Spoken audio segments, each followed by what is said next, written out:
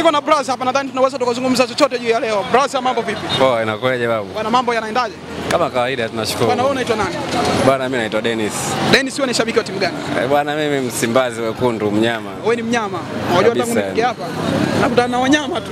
Ah, wanyama kama kawaida. Na wanyama. Yaani sisi kama kawaida sisi yani unajua tushakuwa wakubwa kwenye nchi hii kuhusiana na soka la mpira Tanzania. Lazima mzungumzie mnyama kwanza afu unakuja. anakuja Bwana, lengo kubwa mimi nataka tuzungumze mechi ya baadaye ambayo itafanyika pale Misri eh, majira ya saa 11 kwa sasa za Tanzania. Mm. Unadhani mechi hii na Uganda? mm. Uh, kwanza nataka kufahamu kwako, unaiona vipi hii mechi? Ah, uh, ujue kwa Tanzania sasa hivi imejua game za timu za taifa kusema kweli, yani kuna wakati zinakuwa zinatukatisha tamaa kuzifuatilia sana, japokuwa ni mechi ambazo zina umuhimu katika taifa letu.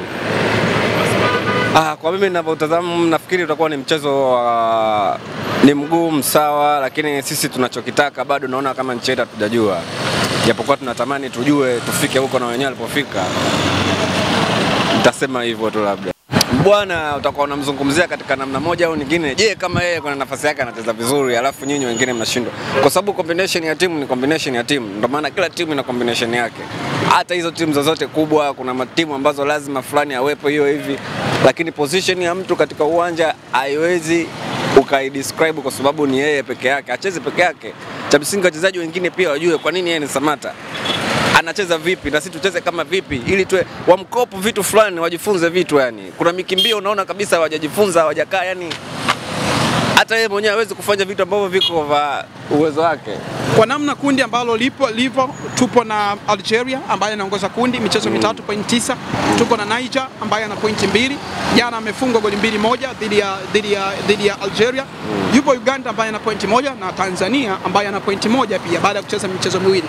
Unadhani kwenye hili kundi kuna nafasi ya kufuzu kwenda kwenye hatua inayofuata? Yani katika hili kundi ili tutoboe, sio siri, ni lazima tudili na Uganda. Uganda mara nyingi anakuwa akitusumbua sana, hilo ni swala ambalo liko wazi kabisa kwa mtu yoyote ambaye ni shabiki wa mpira anajua Uganda ni jirani yetu hapo tu, ukiangalia ligi yao na ya kwetu, vilabu vyao na vya kwetu na lakini unapokuja kwenye swala la timu ya taifa, wao mara nyingi wamekuwa wakituadhibu na wakitupa maumivu makubwa. Kwa hiyo mimi nilichokuwa naomba kwa wachezaji wetu leo, yani tuhakikishe Uga au wengine tukikoma nao tunaweza, lakini Algeria kusema tutamfunga au mwenda away, sawa, ni mpira na nini, lakini Uganda ndo anaweza akatupa tiketi yetu sisi ya kuendelea mbele. Kwa hiyo hatima yetu ya kufuzu hatua inayofuata kwenye kufuzu CHAN Ni Uganda, Uganda. yani Uganda ndo mchawi wetu babu. tunaweza tukamaliza.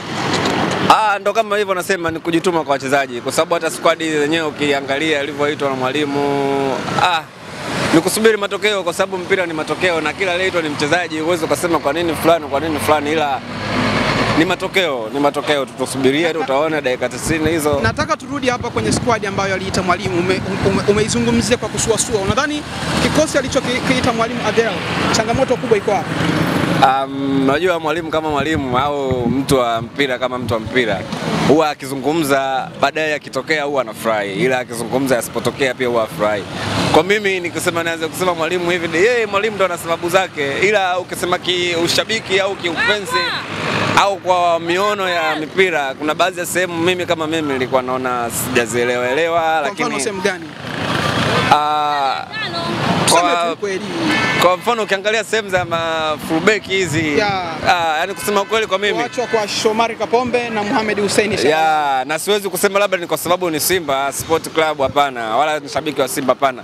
Ukiangalia performance yao jamaa toka misimu miwili mitatu hapa kadhaa, ni wachezaji ambao kweli tunapaswa kujivunia, na ni wachezaji ambao hata ukiwa popote unaweza kusema kweli hizi beki za Tanzania, lakini kwa sababu ya technicians, labda mwalimu kuna sababu kaziona ah, kuanzisha hawa wapo, ni sababu zake za kiufundi mwenyewe. Unadhani tu, tunapaswa kumhukumu mwalimu kwa sababu hajamuita.